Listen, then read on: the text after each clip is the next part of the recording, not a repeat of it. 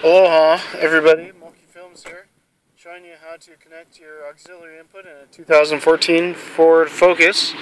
Now, what you do is come over here to the radio, and uh, it's it's on. I don't know how well you can see this, but you've uh, if you're on the radio. Oh, okay, you're on the radio, and uh, let's say you want to connect your line in.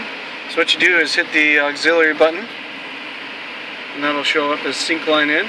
And then if you're looking at the front, you're like, hey, where is the uh, line in? I don't see it up here. Is it over here maybe? No, no, over here. Actually, it's back here in the console. And uh, what you do is, um,